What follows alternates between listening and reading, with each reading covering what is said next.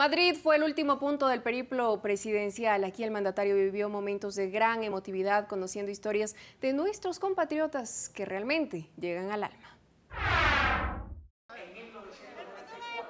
Todos querían ver a su presidente. Por eso fueron desde muy temprano a buscar el mejor lugar en el Palacio de Convenciones de Madrid.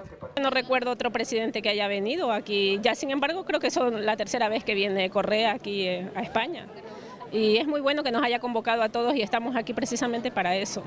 Creo que es el único presidente que, desde que yo sé de los presidentes que salen al extranjero, es el único que se está preocupando por el pueblo ecuatoriano en el extranjero.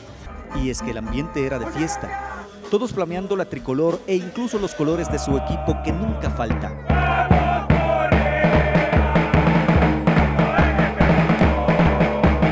Gracias a Dios y buena cabeza que tiene el presidente que es hincha melecista. A nosotros como melecita no, nos engrandece y nos fortalece saber que nuestro presidente es azul. Aquí la emotividad se elevó a su máximo nivel con la historia que contó Fanny Tenesaca, una migrante que agradeció al mandatario y reconoció que los ecuatorianos que residen en el exterior ahora sí se sienten atendidos por su gobierno.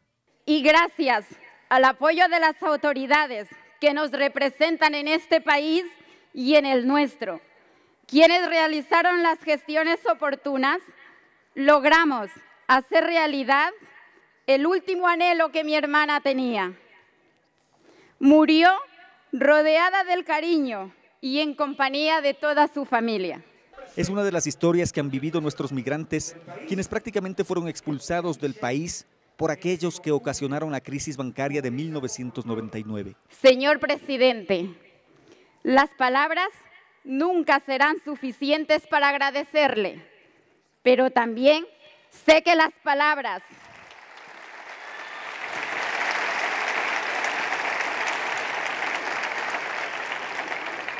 Sé que las palabras sobran cuando nuestras acciones hablan. Pero ahora la situación es diferente.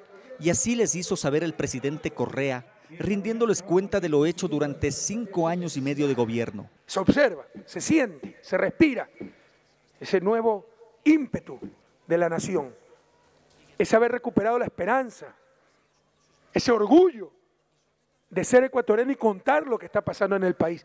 Por eso ahora los migrantes se sienten seguros de cerrar las tristes historias lejos de su patria y reencontrarse con la felicidad de vivir en un Ecuador diferente al que dejaron. Me cuentan que Ecuador está estupendo, que empieza a tener mucha vía de negocios, de, trabajo, unas carreteras estupendas, eh, más que todo hay mejor vivienda, mejor salud y, eso es muy bueno para, para, las familias ecuatorianas.